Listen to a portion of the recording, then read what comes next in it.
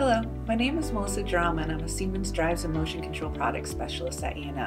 And in this video, I'd like to share with you the Sinamics General Purpose family line. As you can see, there are many different options to choose from, nine in total, and they're all designed to handle different applications with different requirements.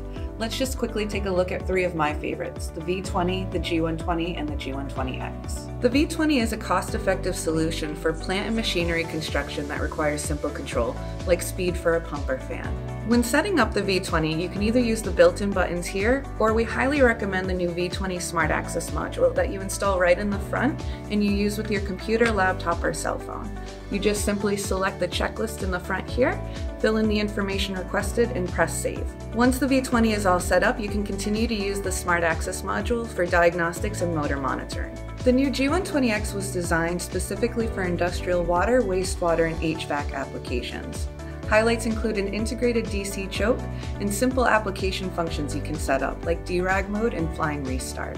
The G120X can be set up in just a few minutes using the operator panel of your choice, whether you'd like to use the basic operator panel, the intelligent operator panel, or like the V20, we have a smart access solution for you as well. Or if you already have your parameters set up, feel free to just save them on an SD card and insert into the G120X. Once you're set up, you can check out those application functions I mentioned, whether it be the derag mode, which will automatically clean your propellers for you, so no more manual cleaning, or a flying restart, which will automatically get your motor started quickly again after a quick power failure. The integrated DC choke that I mentioned eliminates the need for a 3% external line reactor, so no more of that additional cost or size in your control panel.